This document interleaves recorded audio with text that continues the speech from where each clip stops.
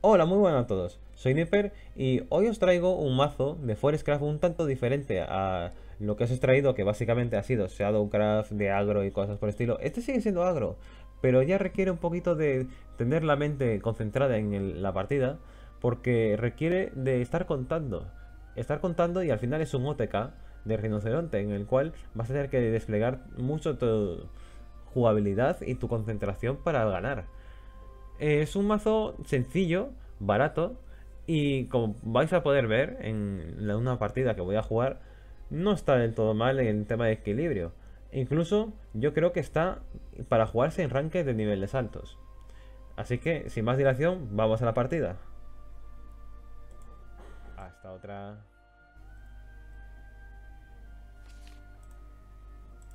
Vale, a ver.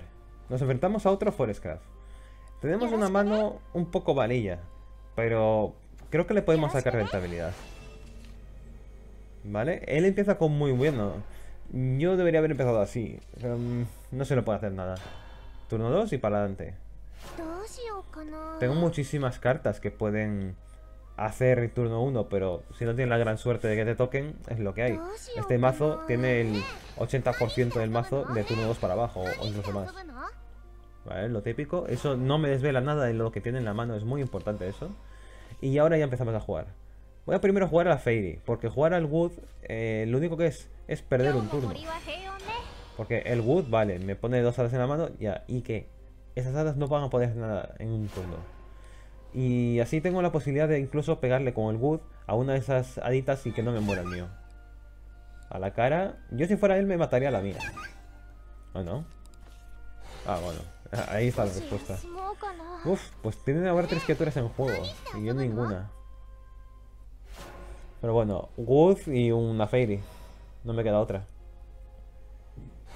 Al menos mis haditas no van a poder ser matadas tan fácilmente en cuerpo a cuerpo.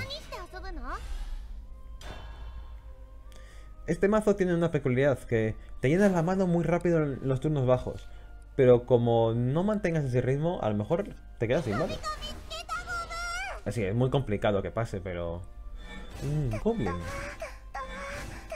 Y toda la cara, normal. No me puedes matar al hada con esas haditas. Pero Goblin, ¿eso, ¿eso es que es un OTK pero de los viejos? No, no sé. Ahora, tengo que ir a la mesa. Y ya que tengo a la F vamos a aprovecharla. Otra Fairy. Y la Elf. Así las protejo de hechizos para que no me pegue otra vez eso.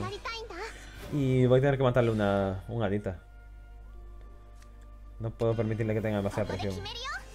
Primero me cargo al 2-2. Y a ver. Una alita fuera.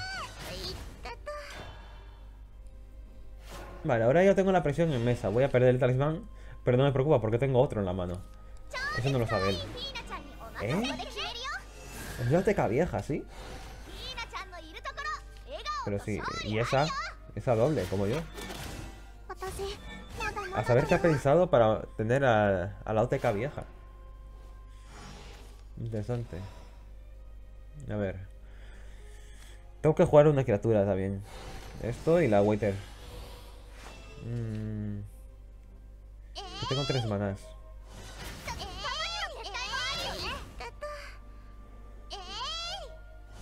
Vale, limpiamos toda la mesa y la water.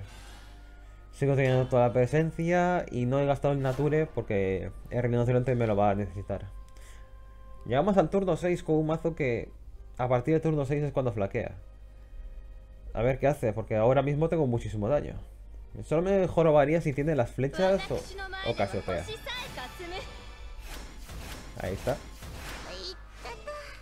Y tengo la mano llena. Mm. El tema es que no puedo ponerme a bajar tonterías, tengo que bajar al Lane Knight. Ah, al menos tengo dos haditas en mesa. Lo que más me está preocupando es que estoy consumiendo muy rápido las evoluciones.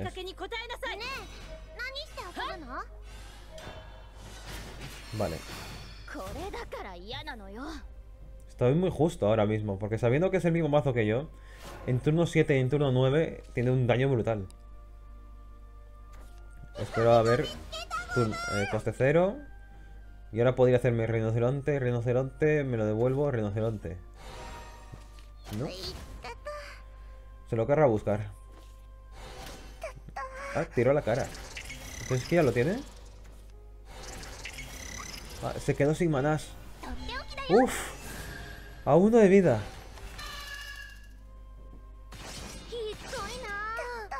Uf, ahora me voy a tener que concentrar. A ver, a ver qué hago. A ver. Mm, tengo que ganarle este turno ya. El, rinoceronte, me cuesta 5 el combo completo. Sé que puedo jugar dos haditas. No tengo otra jugada mejor, ¿verdad? No. Adita, adita. Eh, rinoceronte. Mm, sí, rinoceronte. Estaba pensando jugar en la Blazer, pero no, el rinoceronte. Que ahora gano daño. Mira, al final el Elf Knight me va a hacer ganar la partida. Ahora me lo devuelvo, lo evoluciono y tengo el daño, tengo el daño justo. Joder, qué suerte he tenido. Uf. Sí, lo tengo, ¿no? Bien, bien, bien. Uf. Ha estado muy reñido esto. Madre mía.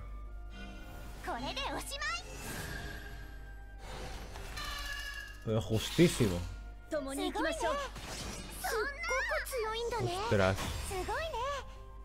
No, no, si el Sugoine lo digo yo porque estoy estoy sorprendido de que me ha salido justo los 20 de daño en un turno. OTK, tío, OTK. Pues nada, y ahora os mostraré el mazo. Es un mazo que tiene presencia constante en la partida eh, tenemos aquí tanto criaturas de turnos bajos como también tenemos alguna cosa de turno alto, como por ejemplo la carta esta que nos ha asegurado la victoria, que es el Elf Knight. Esta criatura es una criatura que no se suele ver mucho, porque normalmente en este tipo de casos tú usarías el Wind God, a no ser que necesites las eh, criaturas de mesa. ¿Por qué? Porque las criaturas de mesa son importantes para cuando tenemos a esta, ya que cuantas más criaturas, más daño podemos hacer en ese turno. Y cuanto menos daño tienen, ganar uno incluso les duplica el daño. Eso es una cosa que hay que tener siempre en cuenta en estas, situaciones. Tenemos también otro buff aparte de esta, que es la Elf Song, que hace prácticamente lo mismo que ella si se han jugado dos cosas antes. Esta es un poco más difícil de treguear, pero nos va a servir para en turnos bajos eh, adquirir las Fairies. A cambio, esta eh, se activa siempre, no da el 1 a la defensa y es una criatura 1-1 que nos queda en mesa para poder cambiar consigo misma incluso. Tengo solo dos copias porque hacía falta quitar de algo y no iba a quitar de otras cosas que son más importantes. También tenemos estas dos cartas que son esenciales para conseguir que el rinoceronte haga sus cositas, como esta que está desde siempre, que te la devuelve y robas, muy importante en caso de que te quedes sin mano, porque aquí generas muchas cosas, pero ¿y si no las generas? Te quedas sin mano y no puedes jugar nada, o juegas carta robada, carta jugada y no tienes ninguna presencia en mesa. Y esto, que a todos los efectos es como la que es un hechizo de coste 1 que hace el mismo efecto que este. Esto lo conseguí por el evento que había de Fate Stay Night, que jugando X partidas te conseguías eh, cartas animadas con los efectos del juego. Y siguen siendo personajes de la serie. Esta carta es muy importante porque te da presencia en mesa, aunque no hagas nada, porque te devuelves una criatura, haces que el rinoceronte haga sus cositas por coste 1, y al mismo tiempo le puedes pegar 3 de daño a una criatura enemiga. Tiene muchas funciones, porque te puedes quitar una criatura que la quieras utilizar de nuevo, como por ejemplo puede ser a la Blessing. Muy buena, por el tema de que puedes activarla dos veces su habilidad.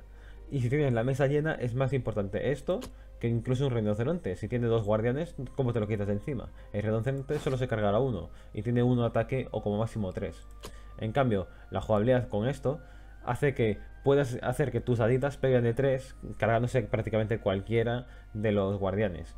Y sigues pegando tu de tres con el hechizo.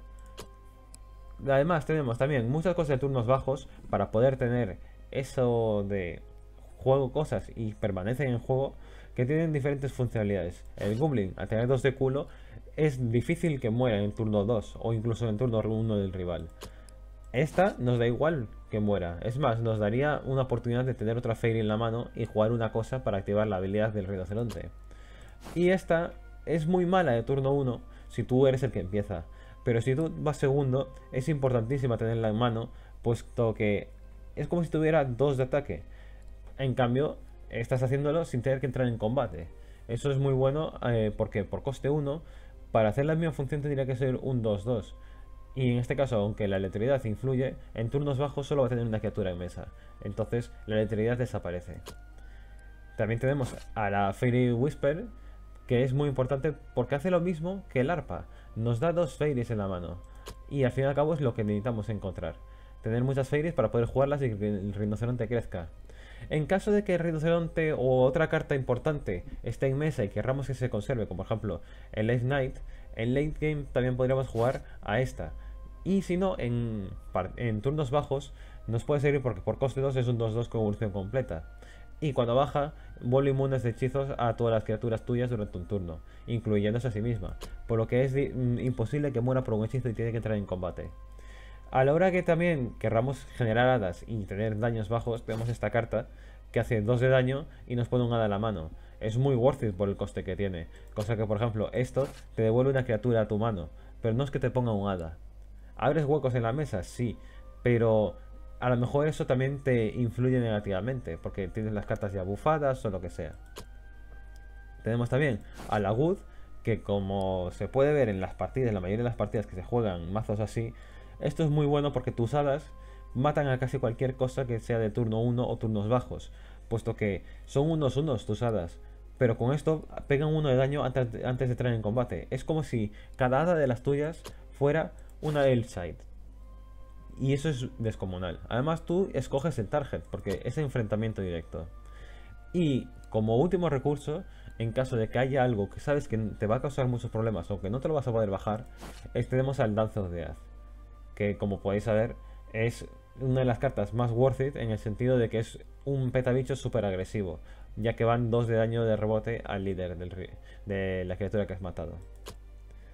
Y con esto espero que tengáis también otro tipo de conceptos de mazo. He estado trayendo muchísimos mazos de Shadowcraft y estoy ahora mismo expandiéndome un poco. Como podéis ver, este es un mazo muy sencillo de jugar, siempre y cuando te pares a contar, porque lo malo de OTK y del rinoceronte es que tienes que tener la tranquilidad de contar. Yo cuando estoy jugando y tengo la música puesta de fondo, tengo que pararla, porque las cuentas y las cábalas que tienes que hacer son bastante interesantes. Y todo lo demás, pues es aprender a jugar el mazo, porque no tiene unas, unas mecánicas muy profundas, pero sí tienes que estar muy concentrado y saber perfectamente lo que estás haciendo. Por todo lo demás, como podéis ver, es un mazo sencillo y barato, porque no hay ninguna legendaria en él. Sin embargo, no lo es del todo, porque tienes aquí nueve cartas doradas que el rinoceronte siempre va a ser útil. La Edgiliza no tanto porque depende de que tengas la mesa llena para que haga su función, o si no, es como una criatura más de turno 2 y a lo mejor la podrías sustituir por otra. Y esta es súper circunstancial para este mazo, porque de por sí, vale, todas las criaturas cuando atacan adquieren más uno al ataque. Para el rinoceronte está bien, pero ¿en qué más? En el rinoceronte de bronce y ya está. No es tan esencial. Funciona en este mazo porque tiene un un perfecto equilibrio y en turno 6 puedes jugar algo tocho. Pero en otras cosas no tanto. Y al encarar dos Fairies ya, pero las creas en tu turno. Y la pasiva de él no van a poder influir en ella. Simplemente tienes dos Fairies en mesa y ya está. Lo único que es es que si te cae una Casiopea o cosas por el estilo, divides los daños más fácilmente. Y en caso de que el otro tenga que defenderse de muchas criaturitas y no le sea tan fácil, por ejemplo, un, un Dragoncraft con baja o, o, que requiera que no sufrir demasiados daños, pues las Fairies estas pueden andar picándole un poquito o incluso usarlas después de kamikazes. No es del todo buena esta carta, pero es eso que digo, es bastante útil para este mazo. Y ya está, hasta aquí el mazo de hoy.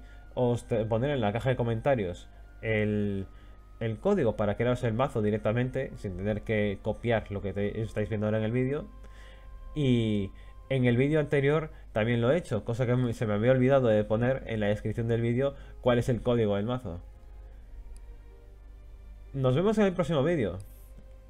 Hasta luego, hasta otra.